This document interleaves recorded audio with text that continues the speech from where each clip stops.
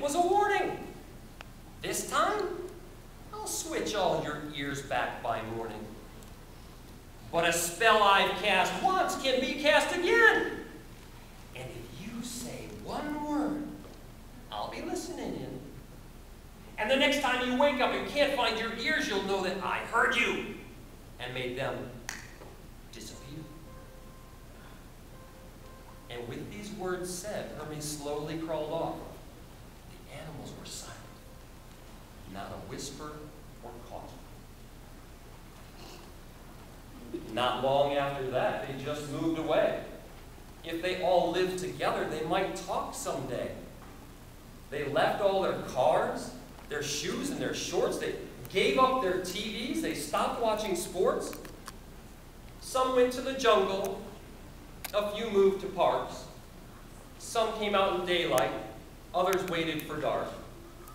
But alone or together, they said not a word. Wherever they went, only silence was heard. Now, few can remember that mixed up ears day. Is Hermie still listening? Nobody can say. So they just bark, or they grunt, they squeal, or they squeak. They might imitate you whenever you speak. The parrot now talks after so many years, but old Hermie was listening. Ever seen parrot ears?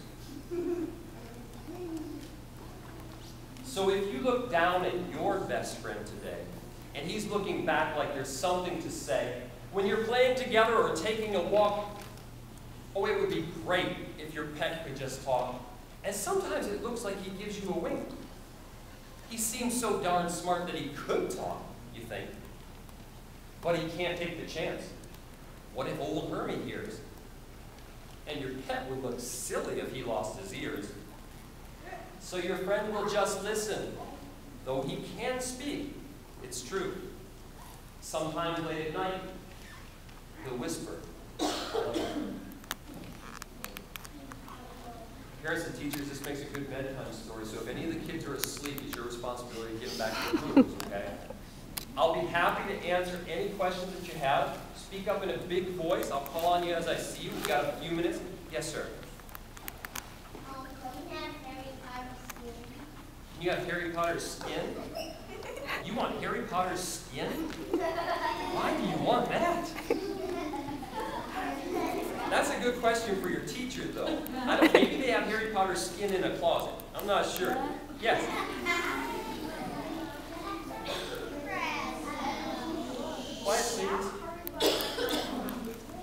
Your mom teaches English?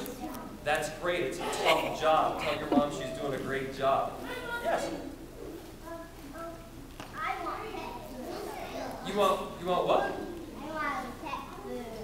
A pet bird? I hope you get one. No, I wanted a pet. I wanted a pet. Pet food? Didn't you eat breakfast?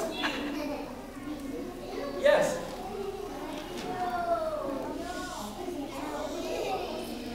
Just a minute, guys. I can't hear, and I want to answer everybody's question, okay?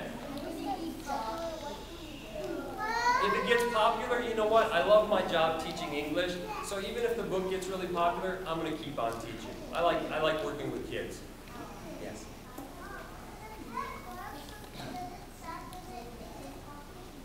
When, what kind of pet? You know what? I think all animals can communicate a little. And when a dog barks, when my dog barks, I know her hungry bark.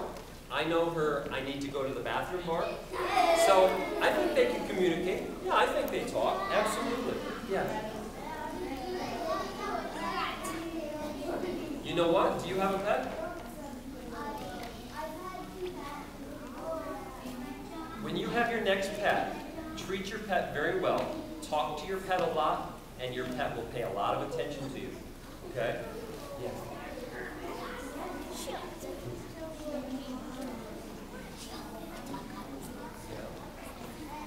Well, I wanted to switch the animal's ears because it shows us that it's very, very important to listen, right? And you don't even think about your ears until maybe one day they're gone. And then you think about them a lot. So it shows how important listening is. Yes.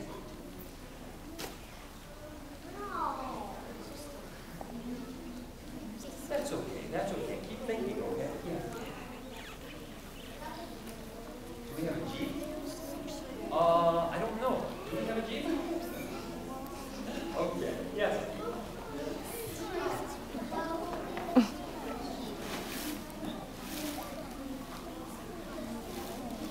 You always bite your nose. Oh no, your, maybe your nose looks like a mouse.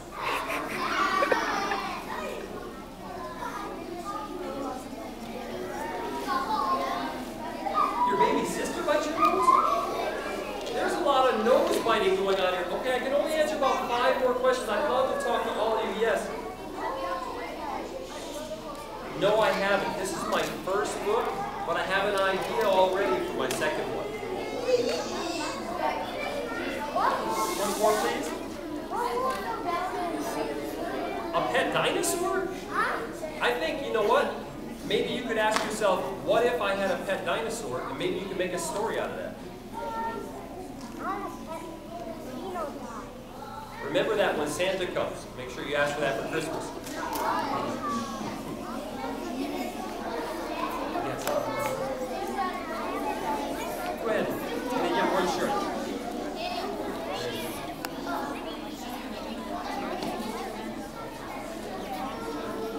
Um, I can't show you the whole book, but I have a book up here, and a lot of your friends probably bought it, so take a look, okay? I can answer just two more questions, okay? Get the yellow. A pet alligator? That sounds.